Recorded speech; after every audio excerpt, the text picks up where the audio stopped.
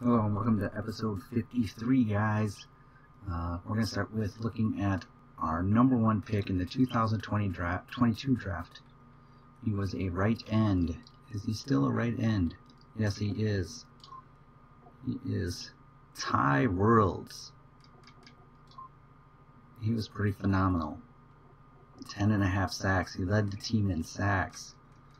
He played 815 downs on 12 in 12 games, so he didn't even play the whole season and had 10 and a half sacks. This guy, this guy's got some, um, he's got some talent. He's gonna, he's gonna do good playing right end. Uh, being only his second year now, uh, I, I just have to give him an A plus for being. There you go. There's my second A plus. Defense for the Packers was pretty good. Uh, the next up, we have we drafted in the second round two second round picks, and we picked a right guard who's not playing right guard anymore. He's probably playing left guard. Isaac Highgrove played left guard. He was our starting left guard. He didn't give up any sacks, and he played in all the downs. So he gets an A. Um, he'd get better grade if they played just a little bit better on the offensive line, but you can see that Buck Gruber and Isaac Hargrove here, they really helped the Packers offense transition from the older veterans. So next up we drafted in the second round was another defensive tackle. Lamarcus Dykes and it appears that he did not have well, I should always do that. A great rookie year let's put it that way. So sorry you get an F for your failure to be a second round pick. Second round picks are tricky. They're tricky. Um, Blake Barron was our next one. He was a strong safety that we drafted and he too got blanketed. So this is not good. This is two high-end draft picks that um, just didn't pan out. We did not have a fourth round draft pick. We picked two running backs with our fifth and sixth draft pick. Fifth round and sixth draft pick. Sixth round draft pick. Yeah, couldn't get that out for the life of me. Uh, first one we drafted was Sloan here. And if we look at him, no stats. And Tasha Walker, no stats. So this draft choice, this um, draft class, two very solid beginning players, and then absolutely nothing afterwards. And I just pushed too far, sorry. So we're going to move on to um, our sixth round. We had two other six rounds, and he was a cornerback. And I can almost guarantee you that he has zero stats. Because he too was on the practice squad. So, we are just not, this was a very poor, just like the season. We had two wide receivers we picked up as well hoping to catch some lightning in the battle. We got uh, Quinton Ruffin. And let's take a look here with no stats. And Donald DeWalt. Hmm. And it would appear that Donald DeWalt did not make it through training camp. So he was cut in the first year. I don't remember doing that, but sometimes I miss them. And then we had Everett, a right outside linebacker. Maybe he's left. Oh, and he didn't make the team either. So there we go. We had to cut two of them. Our, our seventh round picks didn't make it, except for the last one who um, was our punter, power punter that didn't really have a great average. 46 net, pushbacks, This is a this is a C plus punter in my mind. There we go. We finished our draft class. And uh, we can go see advance to the Super Bowl. Let's do that right now and see what happens. Should be pretty quick, I would say. Because we hired a scout. A scout.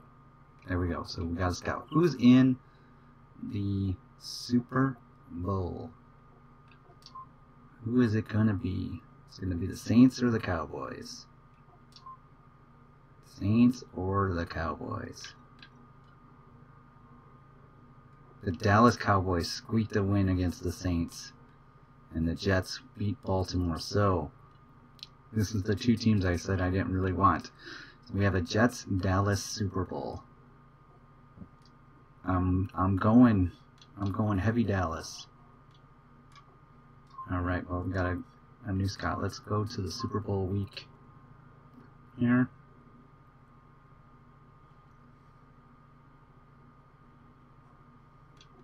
What does it say? Oh, it doesn't say that yet. So, to advance to the off season. I wish you could. It would have had one more step in there to uh, allow you to uh, get the Super Bowl before you advance. So we are drafting 17th, 1st, 9th, 17th, 28th, 17th, 28th, 17th, 28th, 1st, 1st. Oh, wow, we have so many first picks that you don't even see the whole list of them. Oh, I need to do that. I need to do that before I move on. I need to look at my my team roster and then go to picks. So we got we got a bunch of fives and six and two sevens. So we have four number twos. Four number twos, one one on the 17th. Four number twos, two threes, two fours, two fives, a six, and two sevens. And we get to trade one away. So we're going to have a lot of picks. We got to make sure that we have a lot of ammo for that second round. So I got to look at just highlighting some second round players. And I'm going to do that in the future. So I'll be back. So I was thinking that this section of the video would be about the Super Bowl and precisely the two teams in the Super Bowl. So, which is not our team because we haven't been in a Super Bowl since 2017, 2016, which would have happened in 17. So we're gonna we're gonna check it out. We're gonna check out the playoff schedule here. It is the Jets at the Cowboys. We're gonna start with the Jets. Take a look at the Jets roster. And I kind of hope they have a they do upset the uh, going the wrong way, uh, the Cowboys. But let's see, their highest player is a halfback, Jonathan Routledge, a 91 halfback, superstar development, five years in the league. There you go. Um, 12 touchdowns, yeah, not too bad, not too bad. So let's let's do this. Let's uh let's just start with our quarterback, um, Richard Russell Wong. So take a look at his stats. A quick development quarterback in the third year of the league, uh, throwing 26 touchdowns and 11 interceptions. Another big year there, 4,000 yards. Not bad, not bad. He ran the ball a little bit, I'm sure. There you go, a couple of touchdowns there. And uh, this is backups. Halfbacks, we looked at him, and fullback. There's their wide receivers. We got three 80s and 369 and a 66. 269, 66. Um, let's just take a look at this guy's quick development, wide receiver. Four touchdowns this year. Okay, okay, okay. Tight ends. Hey, look at it, it's Richard Rodgers. Still hanging on in the league here. 29 years old. He's the same age as uh, Brady Kropog. So, three touchdowns, 72 catches. See, way ahead is, yep. And uh, just quick looking. Hey, a real person in there, offensive line. Muhammad Wilkerson is still hanging out here. 32 years old. Superstar, 93 overall. Let's check out his sack totals. 14 and a half, 12 and 10, 9. There we go. That's pretty nice. Right end, Leonard Williams. That's what I did too. I moved him to uh, right end right away. Not quite as dominating as Muhammad Wilkerson. I just went too far back. Dang it. Sorry. Oh yeah, there might be some lag. You might not actually see. I'm editing a video right now, so a lot of lot of uh, power required for this old computer. Bruce Gaston is their defensive tackle. Linebackers Jordan Jenkins, Darron Lee. They were in a 3-4, so they're going to have two. Melvin Coleman. That guy's fast. That's a fast cornerback right there. Rookie year. Free safety. Malcolm Jenkins is still going at it. 74 speed. Calvin Pryor, 83 speed. And the team that they're facing probably could have gone a different way to do that too. The team they're facing um, is the bane of this se series. I mean, look at that. Oh. Something bad just happened. Ezekiel Elliott, Max Williams is a 92. It's amazing that they're able to do this. Salaries aren't really that bad, and Dylan Gunn's only got $12 million. Oh no. So let's look at theirs.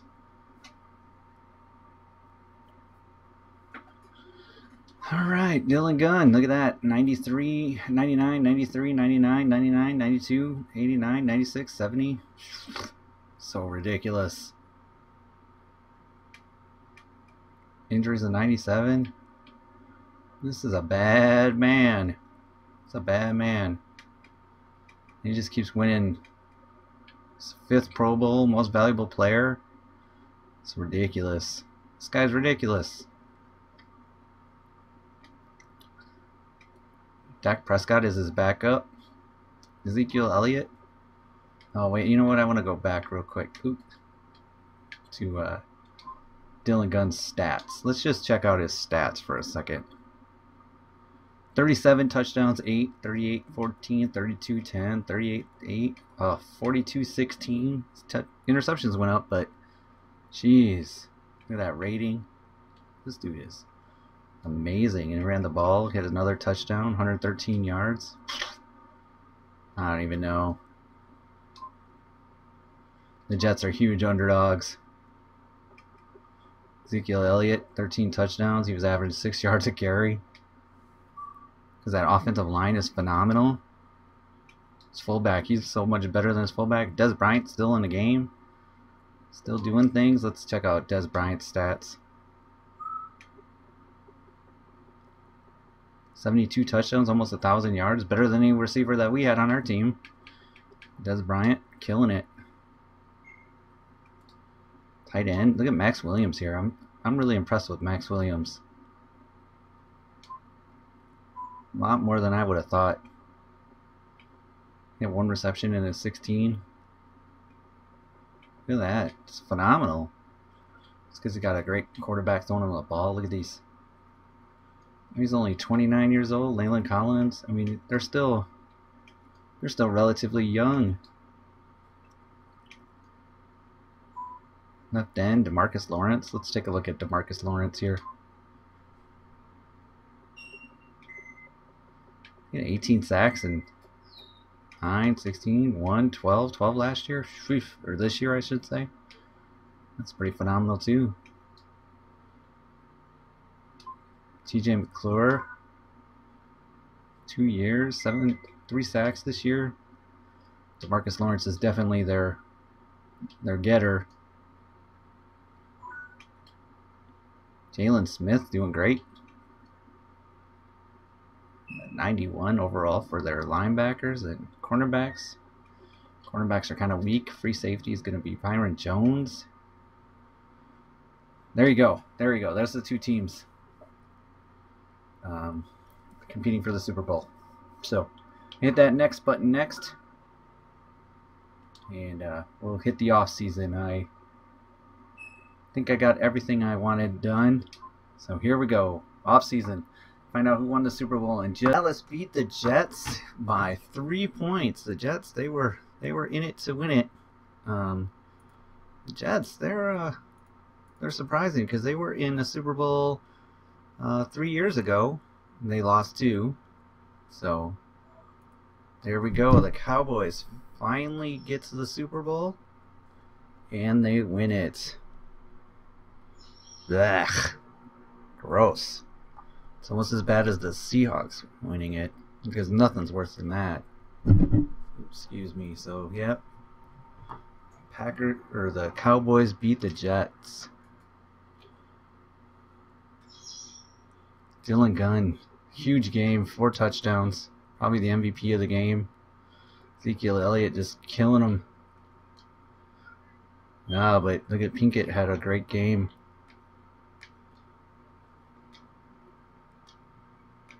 Two passing touchdowns.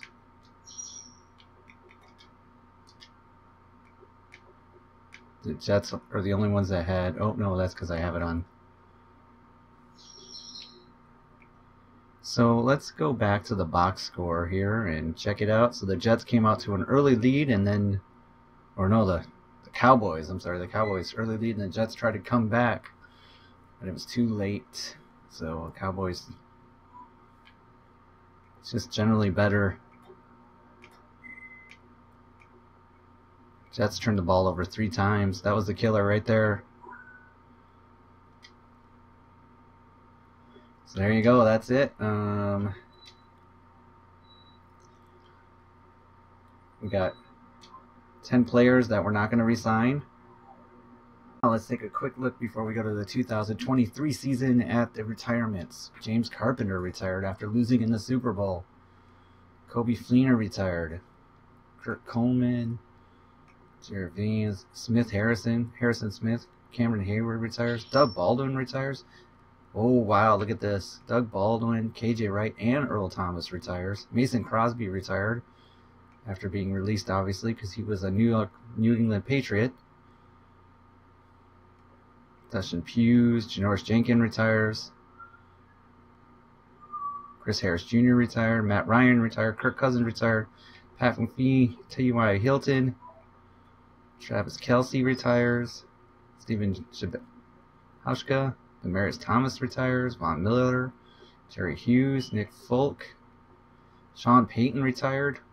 Pete Carroll retired. And Jack Del Rio retired. Did you not see Aaron Rodgers looks like he's coming back another year, at least so far. He's not retired. We'll find out shortly. I have to admit that I thought Aaron, that um, Aaron Rodgers and Randall Cobb were going to retire, and neither of them did. So Randall Cobb really dropped down. He's 80 overall, 33 years old. Um, that's not good. Brady Kropog had his first big down year. Uh, release, Juke Move, Catching Traffic. Uh, let's see, Calvin Samata. One of our draft picks. You got a lot of getting olders. Blake Martinez got some getting olders. Aaron Rodgers, who's 39 now, got some getting olders. Um, his stiff arm is down to 12. But, I mean, really, doesn't look too bad. Injury, no problem.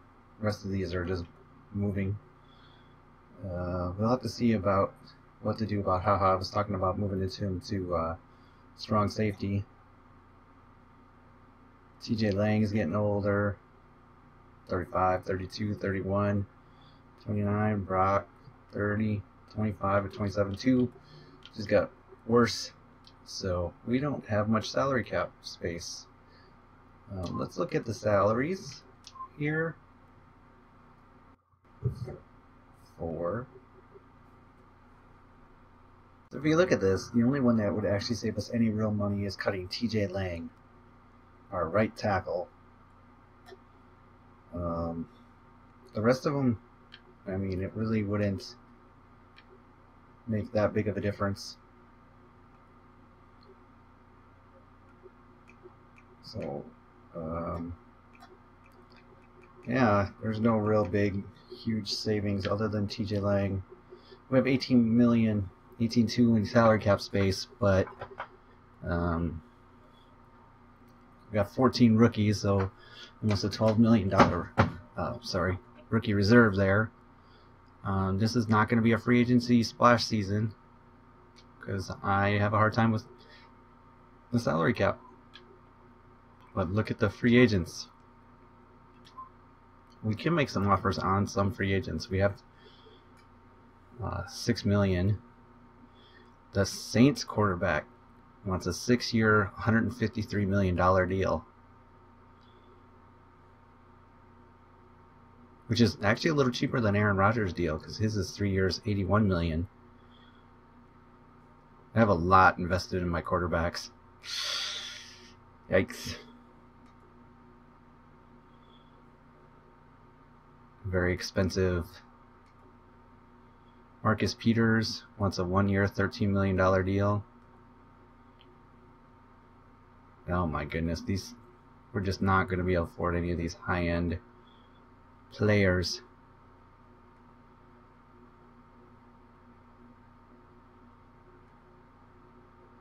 Ryan Shazier. I it's just going to be kind of a drafty kind of class. So I'm going to take a look at this and uh, I'll get back to you if I make any offers. Hey guys, so here we go. Here's my board. Um, I took a two player penalty for reviewing too many players on my draft board last year. I had 30 going into the draft, but I realized I actually had 33 or 32, so I, I'm only going to have 28 on my draft board this year with 14 picks, so that should be interesting. Um, I do not believe that this guy will be there time I draft uh, 17th. And one of these guys should be here, so it's either going to be a defensive tackle or this cornerback. I'm really hoping this cornerback is available. Um, need cornerbacks. So I'm hoping that he's available. I'll take the defensive tackles, one of the defensive tackles if I have to.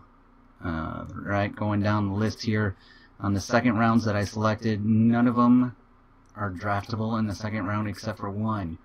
And um, he is not, he's a kind of a big speed receiver, I guess, because he's kind of strong or something. I don't know. Um, 6'1. So I'm taking him with my first pick in the first, second round. Unless one of these defensive tackles are still left. But I don't really need a defensive tackle more than I need a wide receiver. So that's what I'm going to do. And then I'm going to trade away one of my second rounds. And then the other two second rounds, I don't know. Because I don't have any third rounds either. Or fourth rounds. So this is my draft list. We're going to draft some of these, you know, green players around earlier than normal or whatever. So this will be my fourths, and this will be a fifth, and this will be a sixth, and a sixth. And uh, these will be my sevens kind of thing. And uh, yeah so and then we'll, we'll we'll try to leave the reds alone. Though I've had some success with reds. I've had some big failures too. So this is the end of episode 53 please leave a like comment subscribe. And uh, watch the series. Thanks. Bye